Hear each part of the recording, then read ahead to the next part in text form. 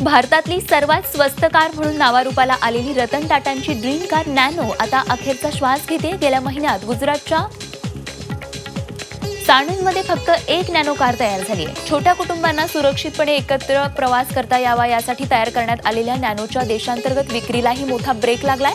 गेल्या महिन्यात अख्ख्या देशात फक्त तीन नॅनो कारची विक्री झाली आहे गेल्या वर्षी जून महिन्यात दोनशे सतरा नॅनो गाड्या तयार झाल्या होत्या. यंदा हा आकडा अवघ्या एका नॅनोवर येऊन ठेपलाय.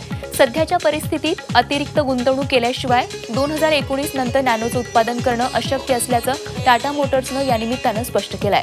पण या अतिरिक्त गुंतवणुकीविषयी काहीही निर्णय घेतला नसल्याचंही कंपनीनं सांगितलंय.